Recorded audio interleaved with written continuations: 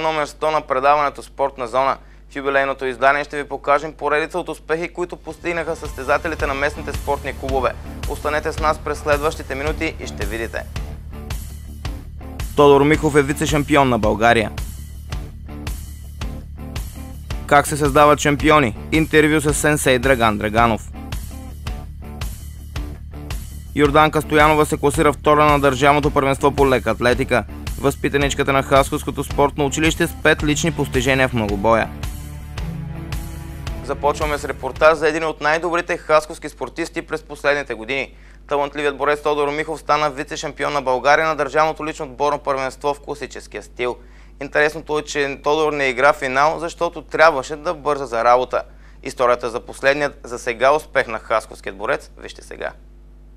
В понеделник сутрин Тодор Михов приемаше поздравления за спечеленият сребърен медал в категория до 130 кг в рамките на държавното лично отборно първенство по борба в класическия стил. В залата да честити вице-шампионската титла бе и първият му треньор Стайко Стамов. Като цяло добре се чувствам. Не очаквах много, защото не съм тренирал. Нали? Доволен, доволен съм. Получи, тръгна ми борбата и така стигнахме до полуфинала. При днешното финансово състояние на местният спорт и в частност на борбата, успехът на Тодоро може да се сравни и с златен медал. Талантливият борец и колегите му в клуба продължават да се състезават на така наречените приятелски начала и от любов към спорта. Заради това, че трябва да бърза за работа, Тодор дори не успя да излезе за финалната среща срещу Мирослав Методиев. Така с златото се окичи Методиев, а Хасковлета остана втори. И три победи на финала, всъщност разкажи как премина, всъщност ти не игра финал, заради това, че трябваше да бързаш за работа. Финала нямаше как да го играя, защото едно, че разтегнах малко, нали, това е левото бедро и друго, че трябваше да ходя на работа. Пък тя ми е по-важна, нали, като цяло, защото няма как иначе. Не така и доста добро посрещане в а, родния ти клуб и първият ти треньор е тук да, да те поздрави. Да, да, и те не са очаквали така смисъл. Защото знаят, че аз съм на работа и просто бе така отидах на състезанието, кот мога да помогна на клуба. Пък той ми тръгна, взех медал, че финал играх. Доволен съм и треньора ми, дето ми е научил на всичко това, дето ме е почнал от начало. Той е тук и да ме поздрави и той. Може ли да повериш Мирослав Меторев на финала?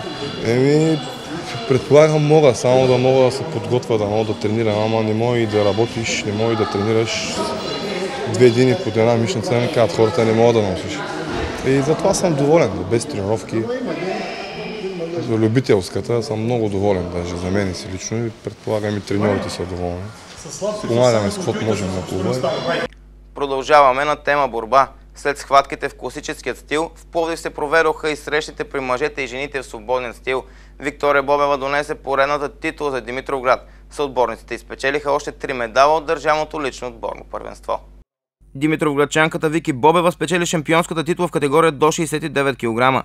Тя стигна до златният медал при жените след като победи на финала Ани Димитрова от Кюстендилският клуб Васили Георги Илиеви.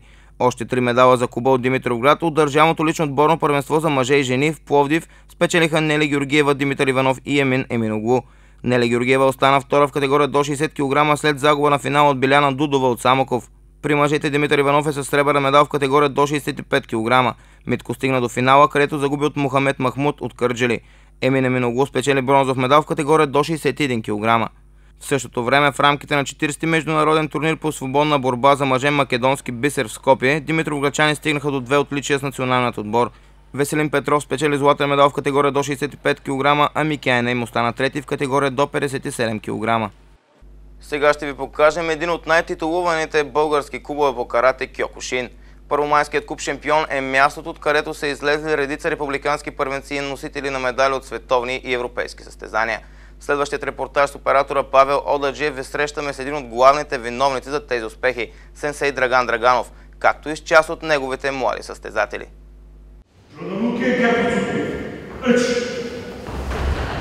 Ни, следното, раз, раз, сам.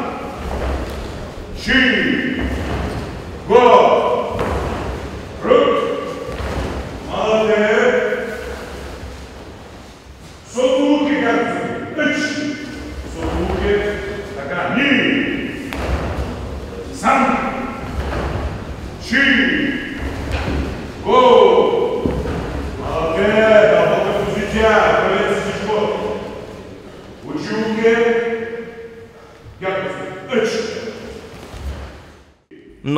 Желание за успех, тежки тренировки и голямо сърце.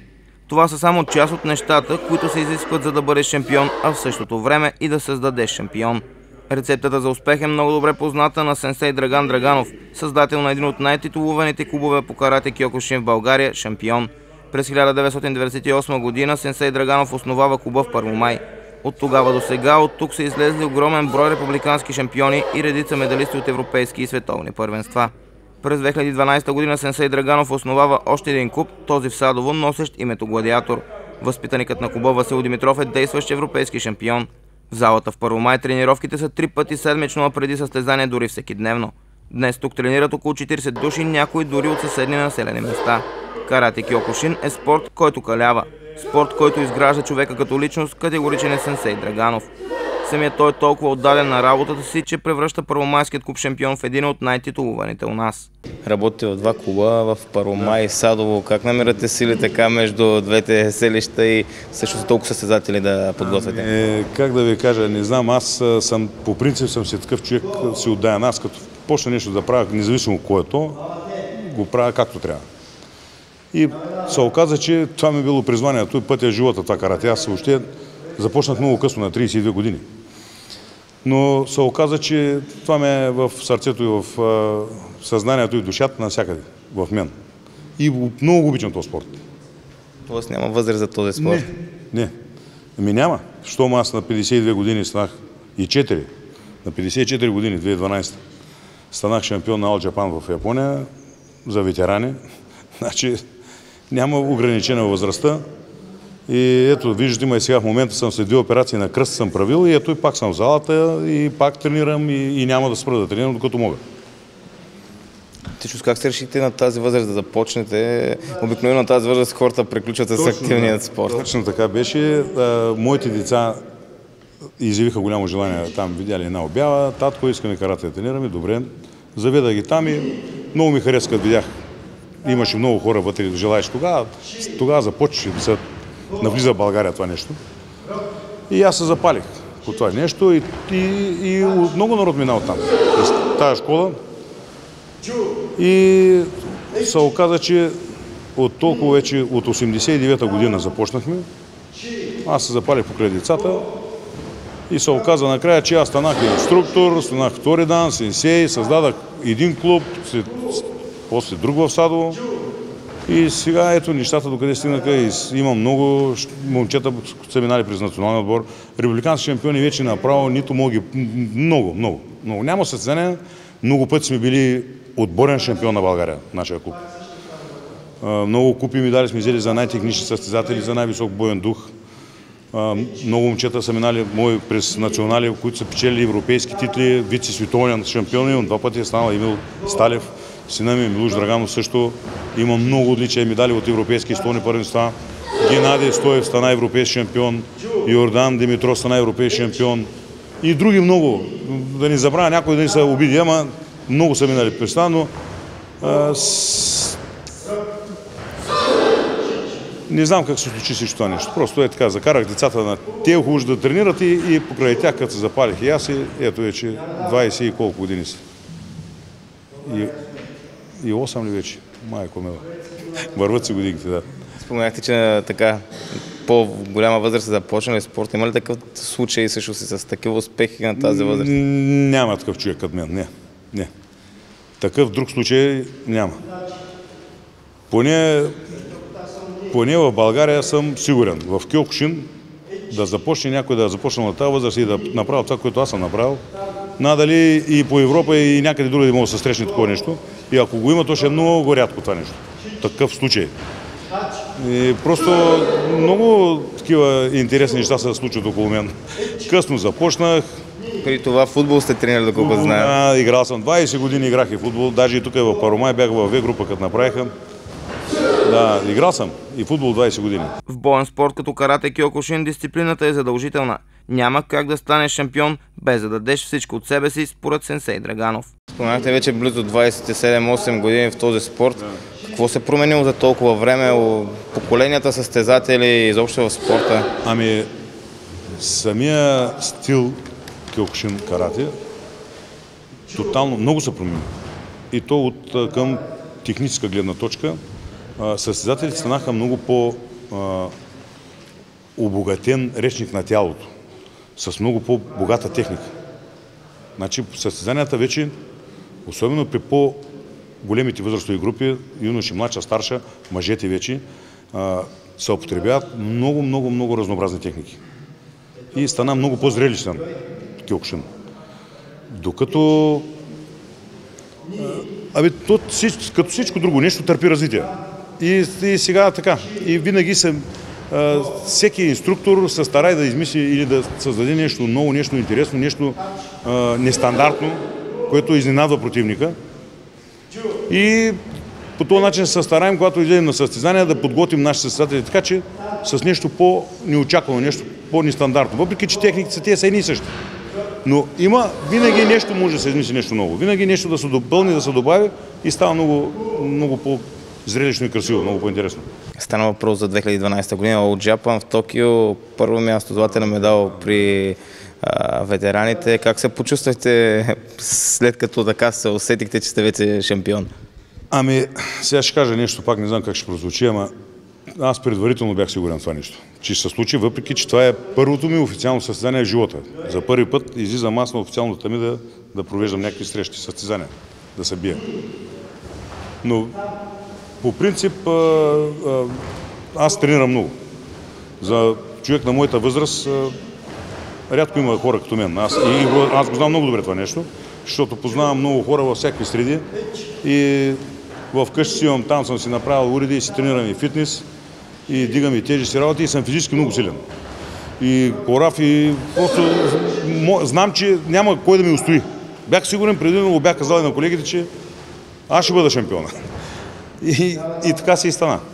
Това ли е важното при всеки състезател преди така да излезне за медал изобщо в а, преди среща? Значи, психическата нагласа е нещо уникално. Това е, може би, най-силното нещо. Защото и през мен са минали такива и познавам национални състезатели, много момчета, които в залата са уникални. В момента, в който застане на официална среща на татами и адреналина, притеснението, всичко това нещо го убива. И той не може да покаже нищо от това, което може. И губи срещата. Докато при мен такива работи няма. Аз такова нещо въобще, аз не допускам в съзнанието си, че мога да загуба. От който ще да на среща. Заставам пред него и край. Назад не. Той трябва да дава назад, аз не. Просто такъв ми е менталитет. И се опитвам да го придам на тях. Това нещо. Трябва да си уверен в себе си, трябва да си вярваш. Трябва да си чувстваш, да си знаеш силата и възможности. Трябва да знаеш, че противника, който е пред теб, с нищо ни да превъзхожда, защото и той е човек като всеки друг нормален човек. Всичко друго идва от, от психика, от подготовка, от тренировките сериозни, които аз въпреки, че на тези години си потренирах доста сериозно, се бях подготвил за това състезание и бях сигурен, че така ще стане. И така се и случи.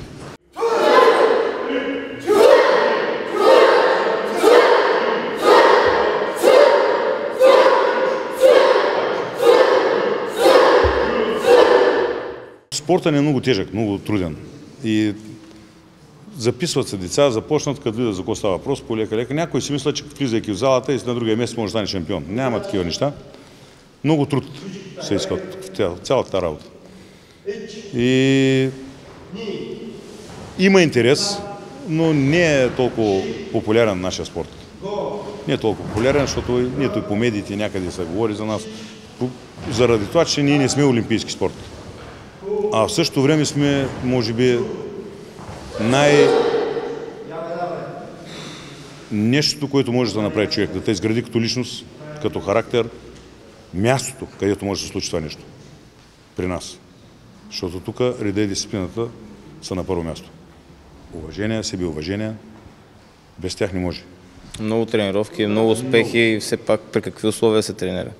Ох, условията наши тук са малко, нали гледате за какво става въпрос, тренираме на паркета, като гладиаторска работа.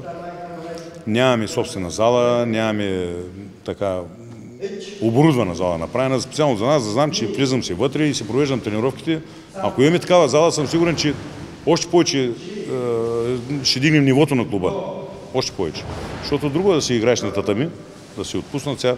Има техники, които Може да ги направиш падайки, нали? или да се привъртиш, скалбета, разни чудеси, тук не става. Тук на паркета няма начин.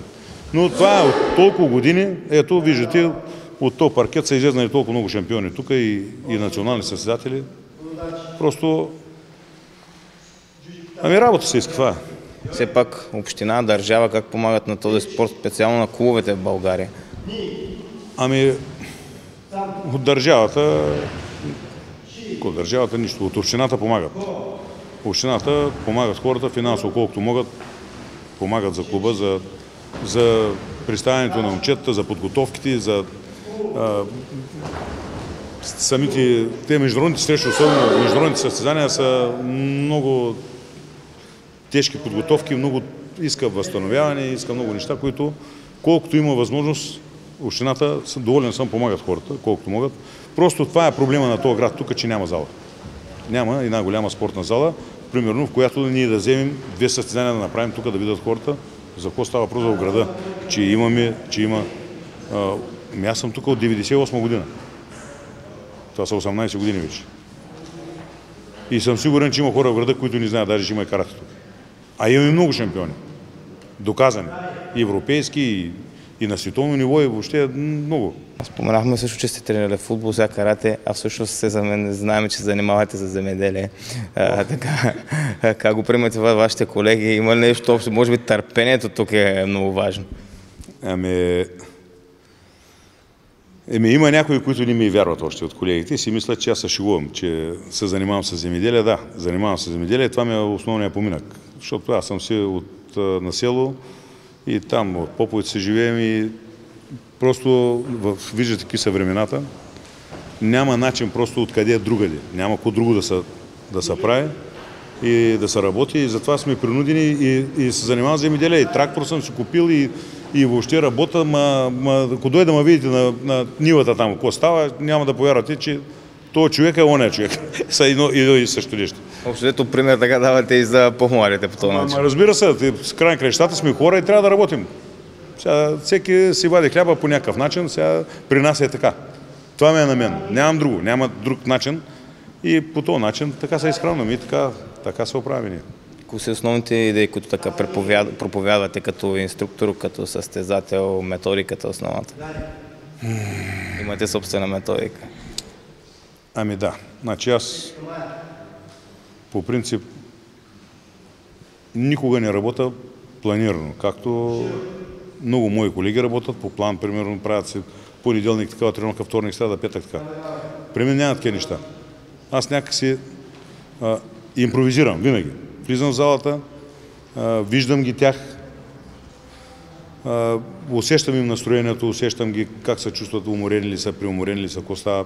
Понякога пускам по-леки по такива тренировки, нали, просто да вработат. Да, да, бе, виждам, че не са за тежки натоварвания. А, когато имаме състезания, примерно, или подготовки за изпити работи, нещата са, тогава тренираме много сериозно, много яко, много силно. Но основното нещо е дисциплината. Основното нещо, това, което се проповядва, това, което изисквам най-много от тях. Да има ред и дисциплина, да има себеуважение. Най-напред трябва да уважаваш себе си, да направиш така, че хората да уважават теб и ти също да отвърнеш по същия начин към тях. Да ги уважаваш, да бъдеш възпитан, културен, дисциплиниран. Малко се намират вече такива хора. Няма ги. Губят се. И са много ценени такива момчета, защото на такъв човек можеш винаги да разчиташ и да му имаш доверие, защото знаеш, че той нито ще подведе, нито ще направи. И това се стараем да направим в, да изградим в и от деца, и от малки. Значи тези, които са останали в залата от мънички, до като и мъже, и просто продължат и да тренират. След това стават много силни личности, силна аура се изгражда.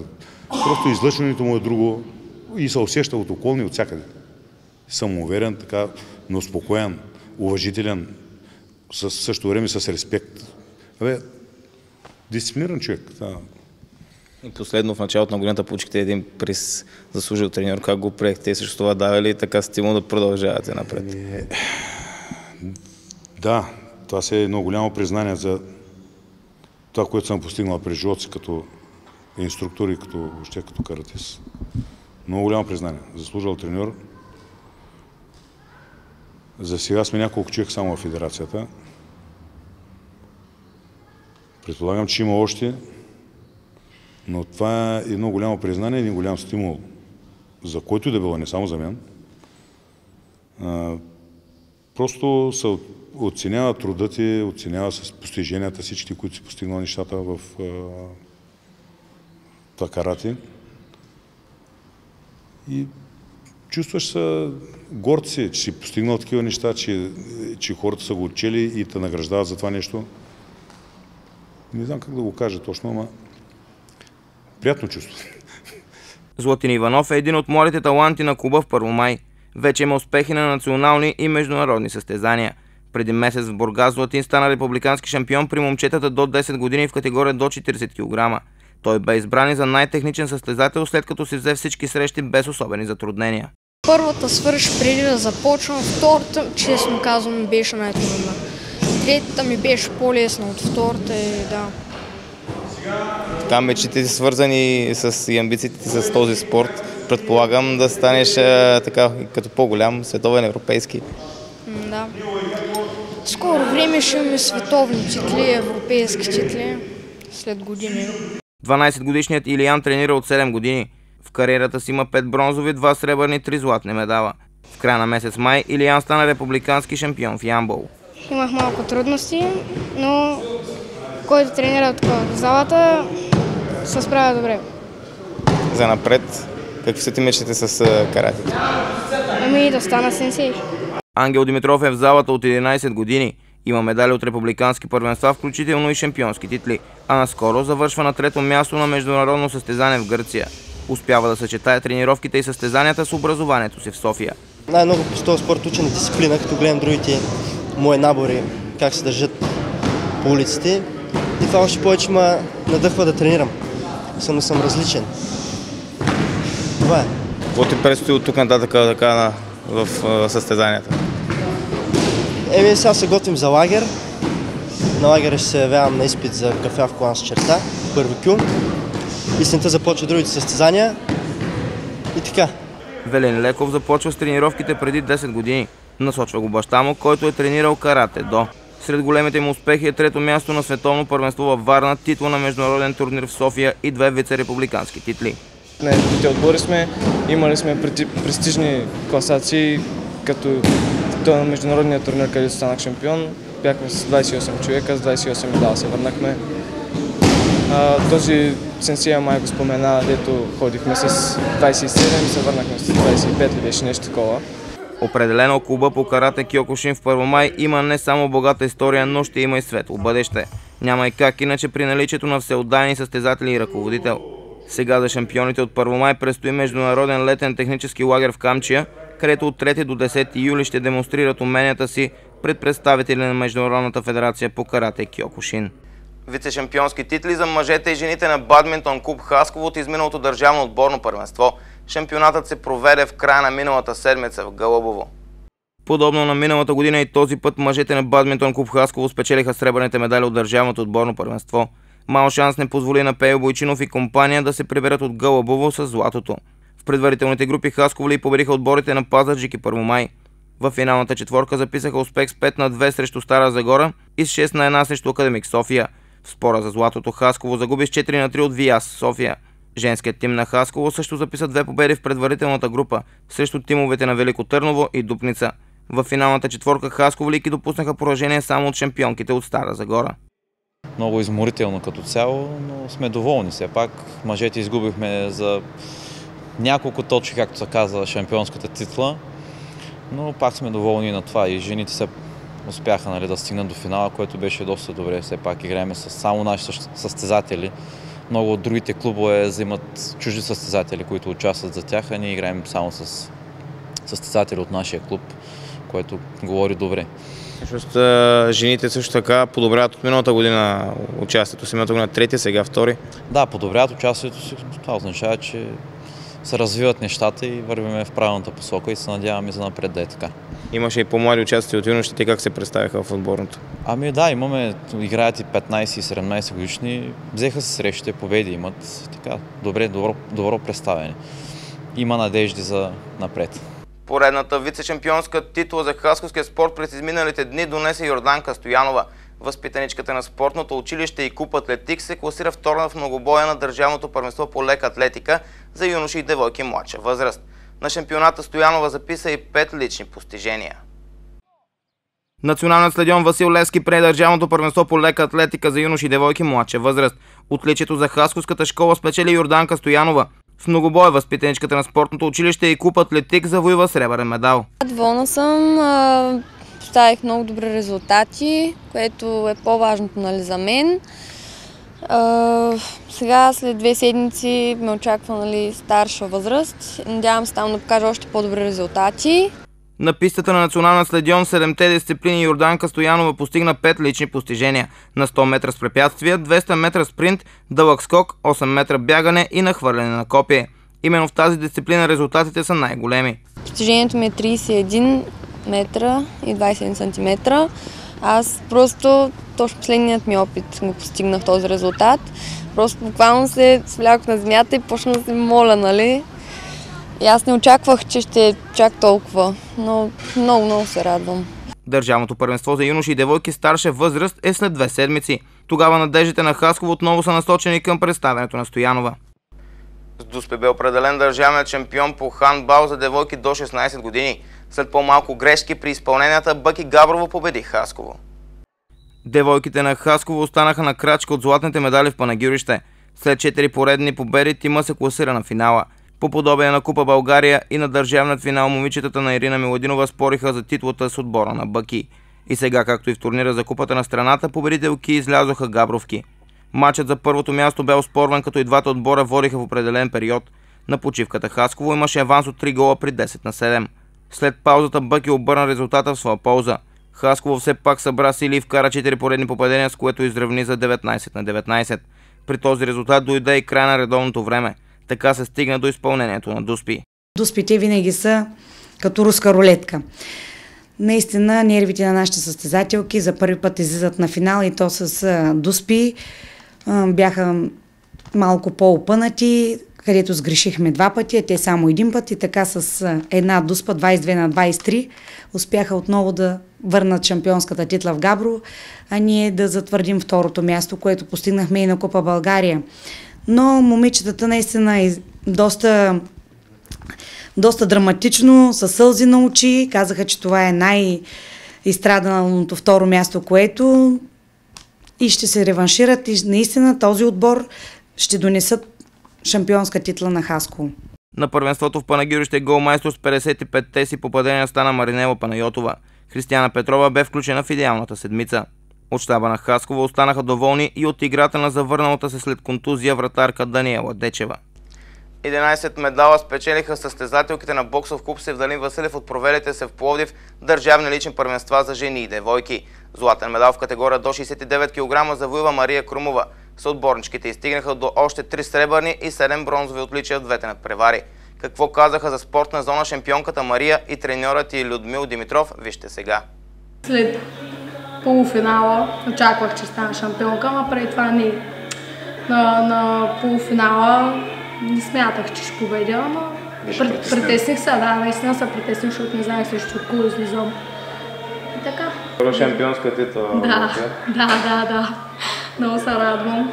Може и да е последна, ама Не, не, ще участвам на жените декември месец. Аз, аз, Видим. аз обещавам, че ще участва. Еми, възпрепятствана съм в училище и работа. Училище е работа, учително се представя. Добре, като треньор, 11 медала, а за целия куп. Какво представянето? Второ място в Еми, Кулк София. Еми, ни- това е, това е най-големият успех, който сме постигали. 11 им дал отличен шампионат. Това са много. Значи миналата година имаме, за цялата година имаме 13 медала от лични шампионати, тази година само от един личен шампионат имаме 11, значи равносметката е убийствена.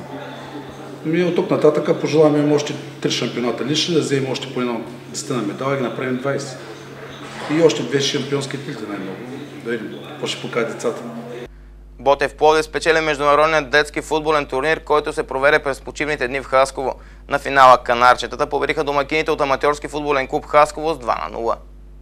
Отборът на Ботев Пловдив, воден от Георги Андонов, стигна до шампионската титла след две победи на Ямача.